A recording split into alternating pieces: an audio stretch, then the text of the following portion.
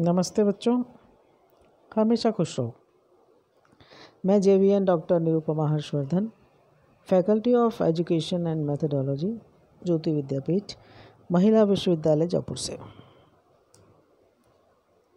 बच्चों, मैं आपको आदिकालीन कवि नरपति नाहल जी के द्वारा रचित विसल देव रासो के बारे में पढ़ा रही हूँ।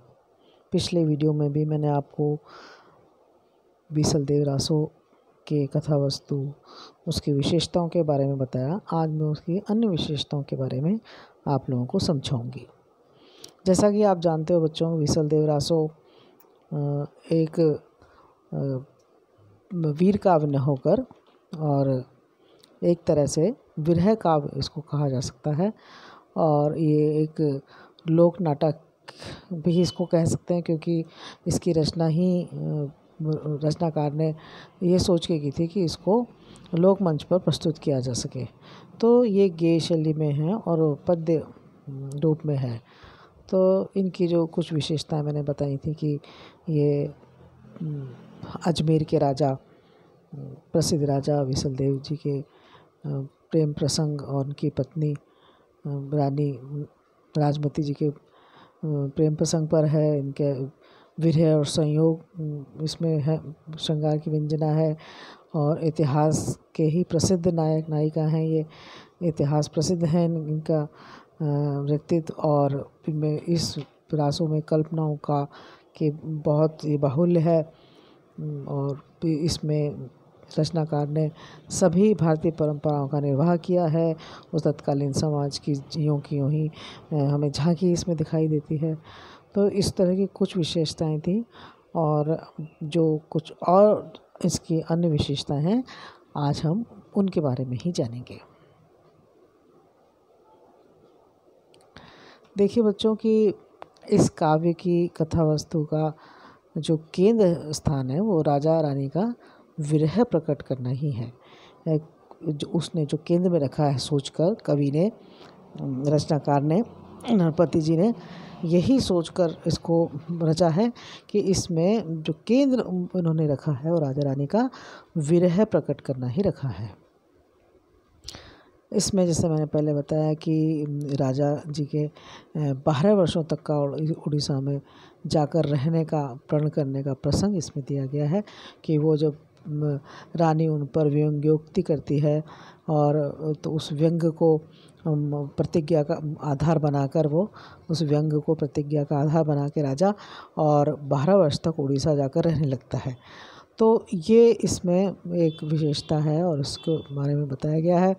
इस प्रवास कथा के पीछे एक रूढ़िगत उद्भावना है।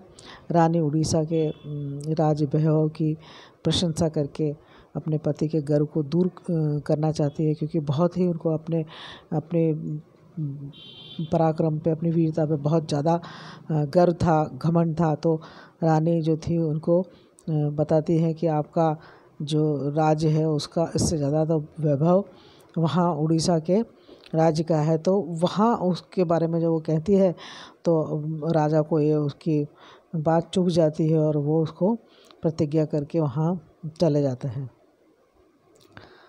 और इसी तरह से ही जो है वो पूर्व जन्म में बताते हैं कि वो रानी जो थी पूर्व जन्म में हिरणी थी और एकादशी का व्रत रखती थी।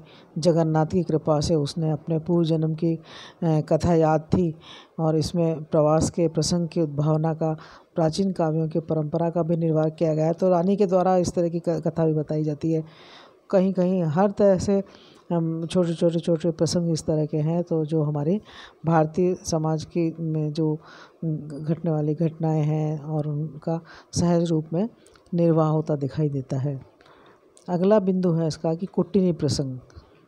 कुट्टिनी जो थी, उसमें, उस प्रसंग के अंतर्गत राजा राजमती के सतीत की परीक्षा तथा उड़ीसा की रानी द्वारा विसल देव के चार विवाह का प्रलोभन दिया जाना और विसल देव द्वारा अपनी रानी में एक निष्ठा प्रकट करना भी उस समय के लोक विश्वास को सुदृढ़ करना ही था कि वहाँ पे किसी तरह का भी राजा को प्रलोभन मिला और उसको चार चार विवाह का प्रलो प्रलोभन दिया गया उड़ीसा में। लेकिन राजा ने अपने पत्नी में, अपनी रानी में ही अपने विवाह में एक निष्ठता का परिचय दिया और यही भाव प्रकट किया कि नहीं मे, मेरा विश्वास जो है, वो अपने एक पति पत्नी की इस परंपरा में ही है और प्रेम में है, विश्वास में है और अनन्य उसमें निष्ठा में है। तो इस प्रकार से ये दर्शाया गया है कि जो प्रेम है और विवाह है, उसका क्या मायने हैं। अगला इसकी बिंदु जो है वो है कि उड़ीसा से जब दिव्य दृष्टि योगी द्वारा उड़कर अजमेर आना, इसमें एक प्रसंग आया है। कि जो दिव्य दृष्टि लिए हुए योगी था, वो उड़कर अजमेर आता है और तेरहवीं, चौदहवीं और पंद्रहवीं शती के नाथपंथी योगियों के प्रभाव को बताता है। तो उसके द्वारा उनका बताया जाना नाथ पंथों पंथियों के योगियों के बारे में, उनके प्रभाव को बताया जाना, ये भी इस कथानक की एक विशेषता हमें दिखाई देती है। अगली विशेषता की बात करें तो है कि बारह मासा का वर्णन भी कवि परंपरा के अनुसार ही है कि जो बारह मासा का वर्णन किया जाता था, उसी प्रकार से इसमें उनके विरह में, के प्रसंग में बारह मासा का वर्णन हुआ है। और ये जो बारह मासा का वर्णन है, कथा की मार्मिकता और कोमलता को प्रकट करता है। तो कवि ने यहाँ पर भी बारह मासा का के बारे में बताया, बारह मासा का वर्णन किया है। विरह वर्णन के अंतर्गत। इस कथा में कवि ने लोक मर्यादा के अनुरूप ही पति भक्ति पत्नी निष्ठा, पर नारी के प्रति समदृष्टि, सतीत्व आदि गुणों की महिमा गाई है। कवि ने यही बताया है कि इसके साथ साथ जो प्रेम कथा बताई है, ये इसमें कवि ने बताया है कि जो लोक मर्यादा है, वो क्या होती है। और पति पत्नी का जो संबंध है, वो कितना आपसी विश्वास और निष्ठा से भरा हुआ है। इसकी इन्हीं गुणों की महिमा कवि ने इसमें गाई है एक तरह से देखा जाए तो। और अगली जो है इसको उन्होंने जो उसकी स्त्री की या एक पत्नी की जो पीड़ा है और नारी रानी के माध्यम से उन्होंने बताई है कि जब उनका पति चला गया, राजा चले गए तो किस तरह से रानी विरह में दुखी है? तो उन, उनको वो पीड़ा भी उन्होंने एक सामान्य के नारी के रूप में पता, व्यक्त की है कि एक, जो एक सामान्य नारी है, उसको भी किस तरह से विरह की पीड़ा होती है। बात करें तो कथा संयोजन जो परंपरागत रूढ़ियों के द्वारा हुआ है, जो कथा संयोजन है, उस तरह से उन्होंने इसका संयोजन किया कथा को, कि जो परंपरागत रूढ़ियाँ हैं उसी के अनुसार जैसे पहले मंदाचरण, मंगलाचरण किया और उसके बाद वो उस तरह से स्टेप उस तरह से आगे बढ़ते चले गए। और इसमें जैसे कि बारह मासा का वर्णन विरह में तो इस तरह से जो परंपरागत रूढ़ी हैं, उनके द्वारा ही उन्होंने इसके उद्भावना की है। और साथ में बहुत से ऐसे प्रसंग भी आए हैं, जिनमें एक तरह का हास्य भी पैदा होता है। पेटू ब्राह्मण और का वर्णन, उड़ीसा में गाय को हल में जोत कर बैल की पूजा करना आदि प्रसंग सुने सुनाए और हास्य नियोजन हेतु ही नज़र आते हैं कि भाई उन्होंने इसमें हास्य का पुट डाला होगा या हास्य नज़र आए, इसलिए उन्होंने इस तरह की इसमें डाली है कि बैल के स्थान पर गाय को हल चलाते दिखाना और बैल की पूजा करना और पेट्रू ब्राह्मण को के बारे में बताना, ये सारी चीज़ें जो हैं, वो इस तरह के प्रसंग हैं जो कि हास्य को पैदा करते हैं।